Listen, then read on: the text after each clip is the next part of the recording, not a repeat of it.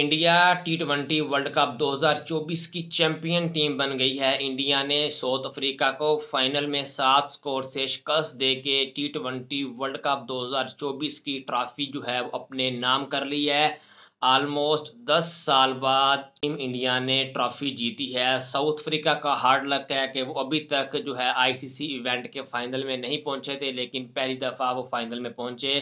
لیکن تیس بالوں پہ تیس سکور نہیں بنا، یہاں سے بیڈ لک ہے۔ ساؤتھ افریقہ کے ٹیم انڈیا نے پہلے بیٹنگ کرتے ہوئے سات وکٹوں کے نقصان پہ بیس آوروں میں ایک سو چھہتر سکور کیا، جس میں وراٹ کوہلی نے ففٹی نائن بالوں پہ چھہتر سکور کیا۔ دو چھکے اور چھ چوکے لگائے وراٹ کوہلی نے۔ اس کے علاوہ اکشر پٹیل نے بڑی زبردست اننگ کھیلی ہے۔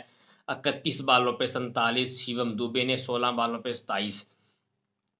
اگر بات کرتے ہیں ساؤتھ افریقہ کی بولنگ کی، تو جانے سن نے بہت خراب بولنگ کروائی ہے۔ چار آوروں میں انچاس سکور دے کے ایک وکٹ حاصل کی ہے۔ رباڈا نے چار آوروں میں چھتیس سکور دے کے ایک وکٹ حاصل کیا کیشف مہاراج نے تین آوروں میں تیئیس سکور دے کے دو وکٹیں حاصل کی ہیں۔ مارکرم نے دو آوروں میں سولہ سکور دی ہے، شمسی نے تین آوروں میں چھبیس اور نوکیا نے سب سے اچھی بولنگ کروائی ہے، چار آوروں میں چھبیس سکور، دو وکٹیں دی ہیں۔ ساؤتھ افریقہ کی بری قسمت بولیں یا کچھ بھی بولیں لیکن ایک سو انہتر سکور صرف بنایا ساؤتھ افریقہ نے۔ سات سکور سے یہ میچ ہار چکی ہے ساؤتھ افریقہ۔ ڈی کوک نے اکتیس بالوں پہ انتالیس سکور کی اننگ کھیلی، جب پریشر بلڈ اپ ہوا تھا ڈی کوک نے اور سٹبز نے آ کے اچھی اننگ کھیلی، لیکن پھر سٹبز کو آؤٹ کر دیا۔ اکشر پٹیل نے اکتیس سکور پہ۔ ہینری کلاسر نے چوبیس سکور مارا ہے اکشر پٹیل کو۔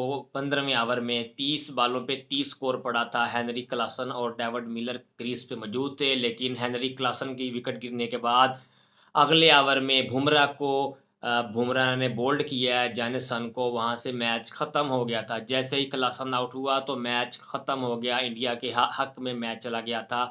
لیکن یہ ساؤتھ افریقہ کے لیے ایک سبق ہے کہ آپ لوگوں نے پھر چوک کیا آپ لوگوں کے پاس ڈیوڈ ملر اور دوسرا جو ان کا پاور ہیٹر ہے ہینری کلاسن، آپ لوگوں کے پاس کریس پہ موجود تھے۔ تیس بالوں پہ تیس سکور چاہیے تھا، وہ نہیں آپ سے بن سکا۔ اگر بولنگ کی بات کرتے ہیں تو ارشدیپ سنگھ نے چار آوروں میں بیس سکور دے کے دو وکٹیں حاصل کی ہیں۔ جسپریت بمراہ نے زبردست بولنگ کروائی ہے، چار آوروں میں اٹھارہ سکور دے کے دو وکٹیں حاصل کی ہیں۔ اکشر پٹیل نے چار آوروں میں انچاس، ایک وکٹ۔ ہاردک پانڈیا نے زبردست بولنگ کروائی ہے۔ تین آوروں میں بیس سکور دے کے تین وکٹیں کلدیپ یادو اور اکشر پٹیل کا تو سافٹ ویئر اچھی طرح اپڈیٹ کیا ہے۔ فورٹی فائیو سکور، ایک کو لگا اور فورٹی نائن سکور، ایک کو لگا ہے۔